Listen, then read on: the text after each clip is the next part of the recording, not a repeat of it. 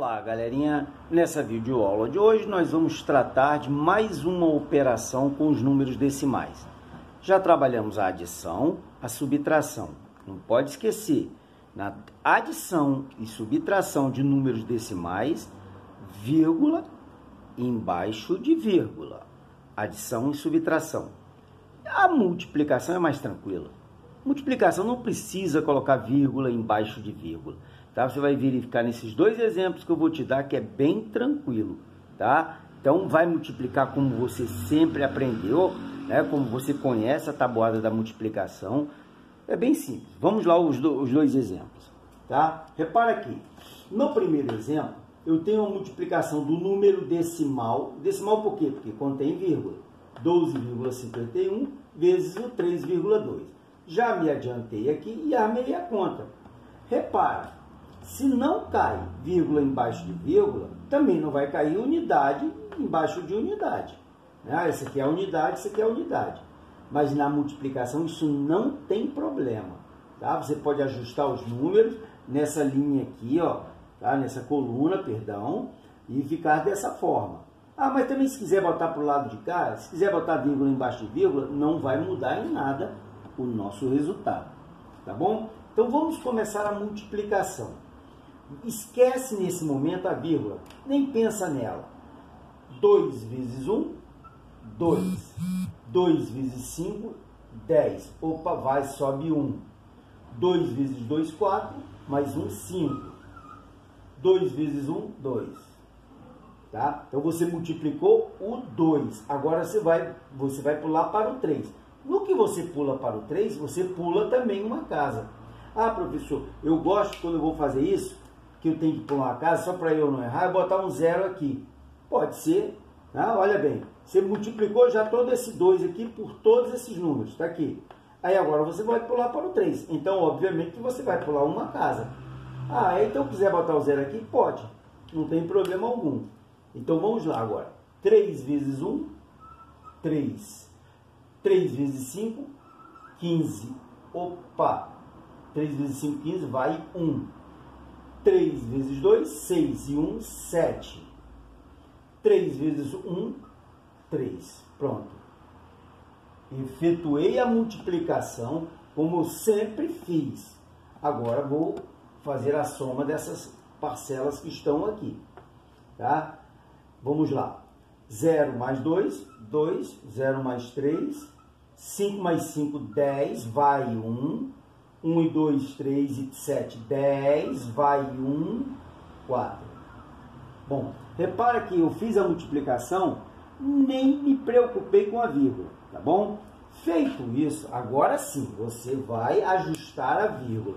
Vai colocar a vírgula aqui. Mas aonde, professor? Vamos primeiro aqui em cima. Está aqui a nossa vírgula na primeira parcela, o primeiro fator, né, que é esse número aqui. Ó, eu tenho uma, duas casas decimais. Duas casas. Vou botar aqui abreviado, tá? Duas casas decimais. Aqui, você tem uma casa decimal. Uma casa decimal. Nem precisa escrever isso que eu estou colocando aqui, não. Tá? Estou colocando para te chamar atenção só. Então, repara bem. Na primeira parcela, uma casa, duas casas decimais na segunda uma. Então eu tenho um total de três casas decimais. Três casas.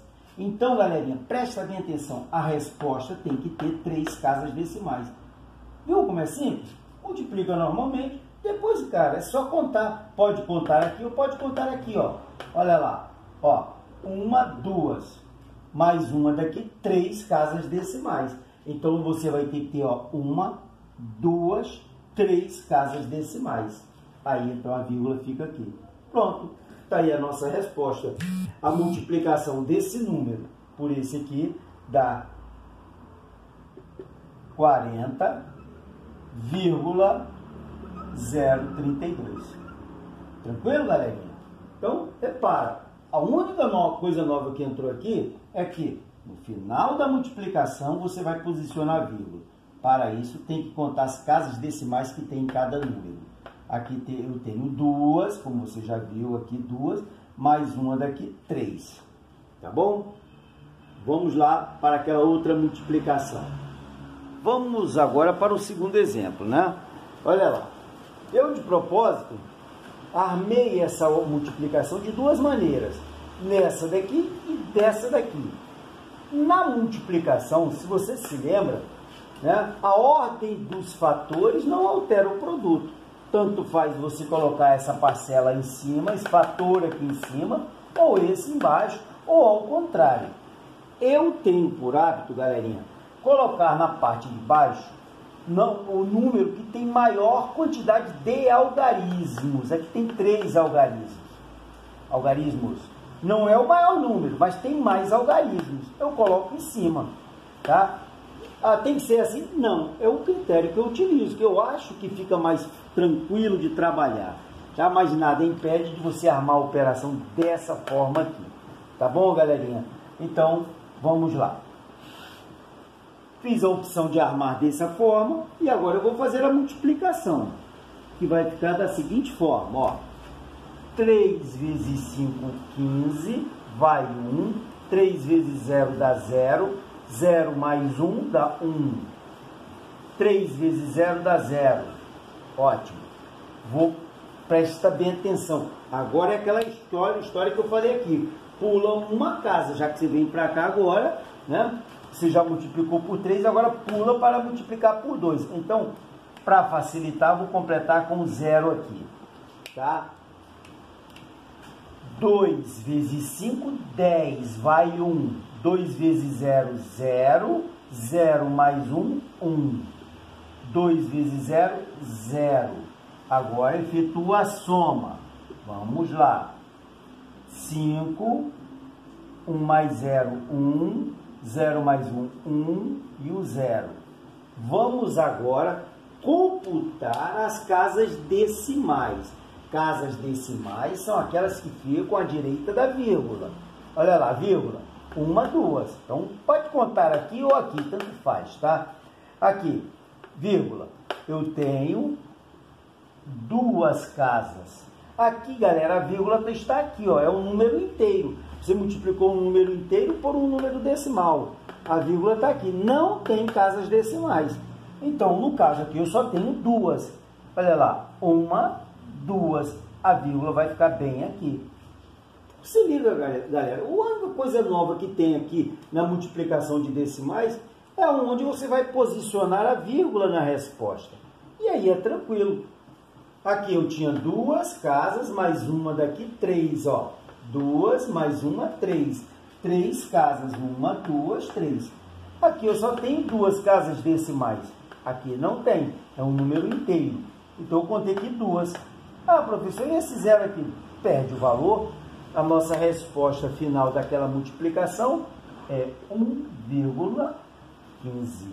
Perfeito, galera? Tá bom? Tá tranquilo, né? Vou te dar mais um exemplo, é? Vamos lá. Vamos para mais dois exemplos, né? Então, eu tenho aqui 1,5 vezes 0,0002. Já me adiantei, armei a conta e como eu te falei, eu procuro sempre botar aquele que tem menor quantidade de algarismos na parte de baixo, só para facilitar, tá? Não é uma regra, ok? Vamos lá, vamos à multiplicação.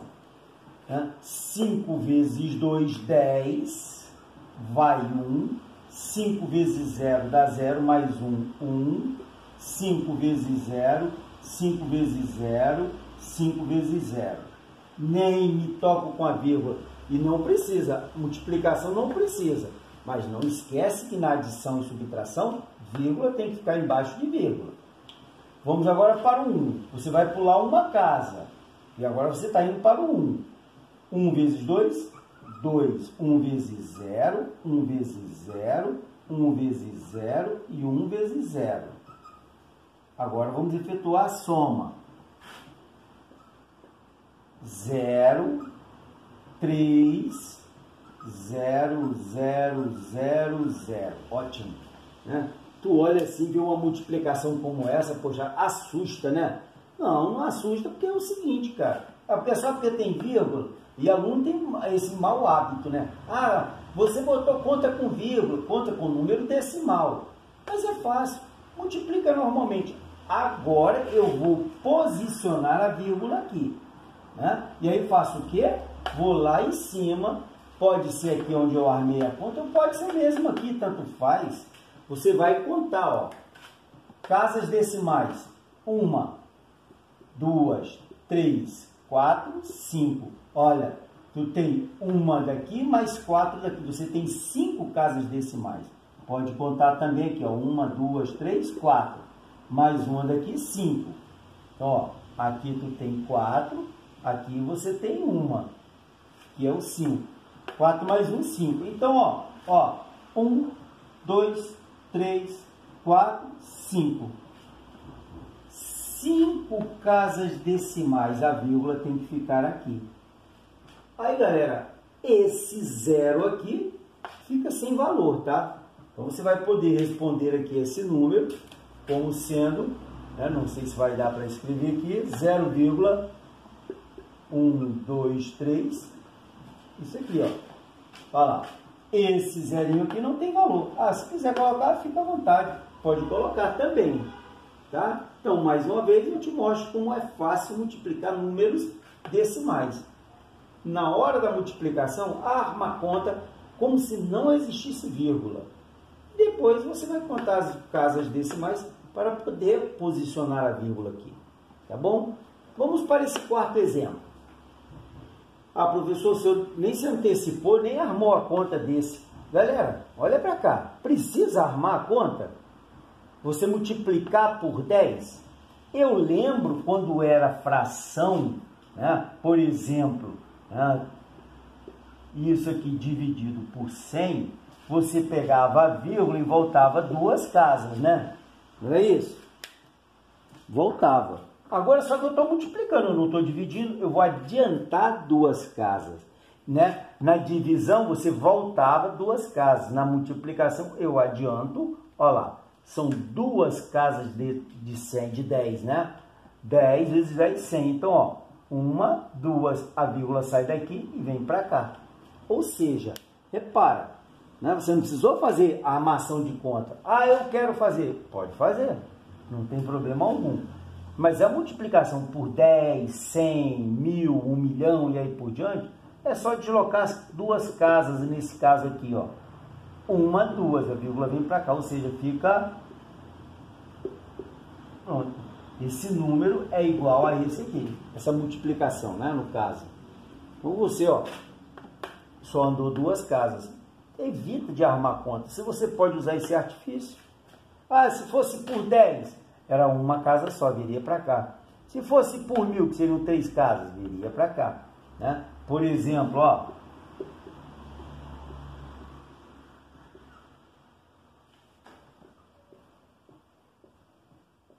Olha lá.